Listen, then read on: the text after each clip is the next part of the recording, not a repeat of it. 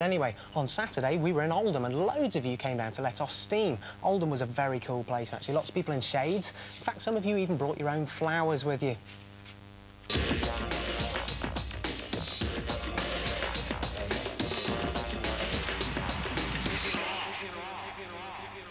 I went down market and got this flower from Manchester United, yeah? And it's really brilliant, they're brilliant players, yeah, yeah! Oldham's going to do brilliant this season. I think now Andy Ritchie is going to turn the team round. I said, come on, Oldham, do it, boys. I'm the bloke who fitted Andy Ritchie's kitchen about eight years ago, and I know he's ready for a new one, just like we are ready for promotion. City till I die.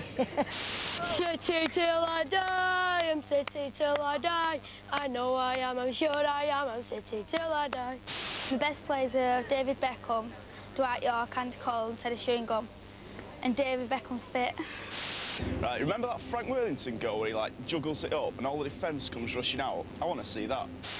My father is having his ashes scattered at Old Trafford probably by September because he'll be happy and hopefully he's going under the goalpost so we can cheer them on. Andy Ritchie, I hope he's, he's doing really good at the moment. Um, with the new stadium coming in and everything, it's all looking good. And hopefully got some new owners coming in soon. They're going to pump some millions into the club. All the Oldham fans who've left us in the past when we used to have crowds of 18,000, I think you scum and you all rot in hell. My bestest team is Man City. Thank God for the football season. It's a relief from shopping.